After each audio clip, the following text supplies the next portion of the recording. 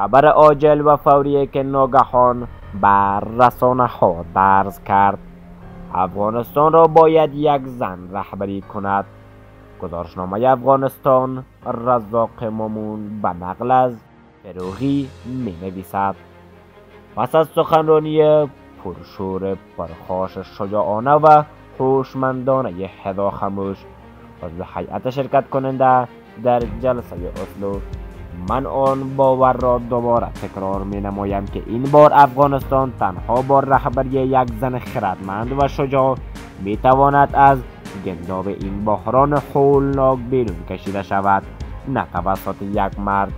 آن هم یک ملای نادیده چون ملا عیبت الله آخوندزاده اگر مردان افغانستان می‌خواهند و جرأت این را دارند تا کفاره تمام گناهان انباشته شده تاریخیشان را که همواره حکومت های غیر مردمی رابی چون و چرا اطاعت کردند بپردازند. این بار باید از یک زن دلیر صادق و خردمند حمایت کرده او را بر رهبری کشور برگزینند. زنی که تک تک مردمش را دوست داشته وابسته به قوم و قبیله نباشد. زنی که دلش برای درمان دردهای استخوان سوز تمام مردمش یکسان بتپد و صادقانه برای درمان تمام دردها آبادی و ترقی کشور تلاش نماید. من باور دارم که نظام قرون و ستای امارت طالبانی نمی‌تواند دوام بیاورد. پس چه بهتر که نظام بسا طالبان را یک زن خردمند نترس صادق رهبری کند. و این به همت و حمایت همه ما وابسته است. هدا خموش که برخلاف زنان پروژه دوران حامد کرزی و محمد اشرف غنی صاف ساده شجاع و خوشیار خردمند است.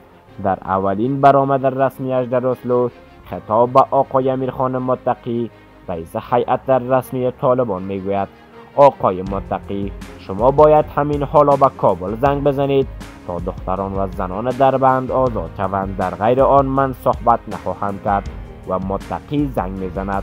خانم خموش در سخنرانی پرشور خود رژیم طالبان را رژیم ترور و دهشت خوانده.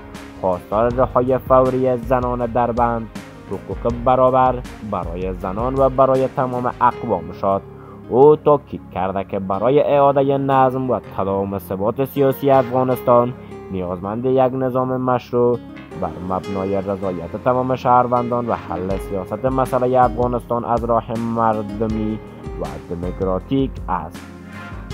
او جامعه جهانی سازمان ملل و قدرت های بزرگ و منطقه‌ای را هم به شدت انتقاد کرده مسئول این همه فجایع دانسته و سکوت مرگبار همه را در برابر مظالمی که بر زنان افغانستان از جانب طالبان روا داشته می شود شرمآور توصیف کرد. بر ماست که تا حدا خموش دختر شجاع و هوشمند وطن یا هداهای دیگر همانند او را تنها نگذاشته آن را سکنداران کشتی در گل فرو رفته خیش انتخاب نماییم. تا این رستاخیز ملی را آنان خردمندانه و دلسوزانه هدایت کنند. این کشتی در گل فرو رفته تنها با رهبری یک زن می‌تواند به ساحل مراد برسد. به رهبری یک زن شجاع و خردمند. یاد همه باشد از من گفتن بود. با این حال سخنرانی که وجدان جهانیان را تکان داد. به نام آزادی و برابری و احترام و یاد تمام دختران و زنان افغانستان که اسارت را نمیپذیرند. آقایان خانم ها درود بر شما. از روز جمعه 21 جنوری که برای انعکاس صدا و مطالبات زنان و مردان آزاده از کابل به اصلو دعوت شدم میلیون ها زن و مرد افغانستان در داخل و خارج کشور به من انرژی دادند و انتظار دارند تا خواسته های مشروع و بر حقشان را مطرح کنم. تاکید می کنم که من برای مذاکره نیامدم بلکه برای طرح خواسته ها و مطالبات مردم به خصوص زنان اینجا هستم. من دیروز از شرایط سرکوب ترور و اخلاق حاکم بر افغانستان بسا 15 اگست گفتم از سرنوشت همه زنان معترض به نیکی آگاه هستید نیاز به تکرار آن نمی‌بینم. دیروز آقای متقی به نمایندگان طالبان گفت که با همکاران خیش تماس گرفته تا سرنوشت دختران دستگیر شده در کابل و بلخ را پیگیری و روشن کند. آقای متقی به من گفت بیایید کابل تا با ام و معترضین حرف بزنیم. ما از زنان در این حرف ها تناقص می بینیم و آن را تلاش به منظور انحراف ذهنیت عامه می دانیم اینجا در برابر جامعه جهانی برای به دست آوردن پول های بلوکه شده و کسب مشروعیت و اعتماد یک چیز مطرح می شود اما در عمل در خیابان ها خانه ها و در شهرهای افغانستان طالبان سرکوب ترور وحشت برا انداختند. آنان در این پنج ماه و نه روز با زنانی که بارها با تظاهرات مسالمت آمیز در کابل و بلخ و حرات و دیگر شهرها به خیابان برآمدند سخنی از صحبت و مذاکره نگفتند. برعکس زنان را سرکوب ترور و انسان زدایی کردند.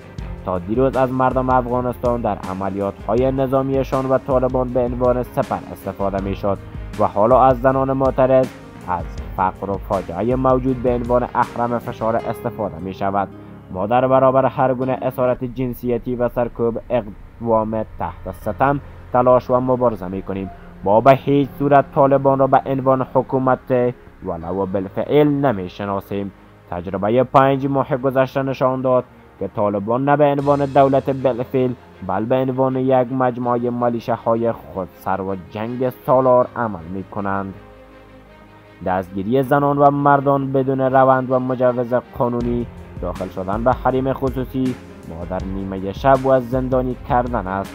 سخنگویشان آشکار از حق در بند کشیدن زنان را و مجازات مخالفان خود سخن می‌گویند. بیش از هر مسئله دیگر طالبان یک پرسش آغازین را پاسخ دهند و آن این است که چه کسی به طالبان حق حکمرانی بر ما داده است. عده هستند که پافشاری می‌کنند که گویا طالبان نمایندگان مردم افغانستان هستند و یا اینکه مردم افغانستان سنتی هستند و یا اینکه مردم افغانستان اهلیت دموکراسی ندارند. با تشکر که تا آخرین ویدیو با ما بودید. برای مشاهده ویدیوهای بیشتر channel یوتیوب سمارت را subscribe نمایید و برای شما بهترین و جدیدترین ویدیوهای روز را به نشر می‌گذاریم. الله بزرگ یار و مددگار شما باشد.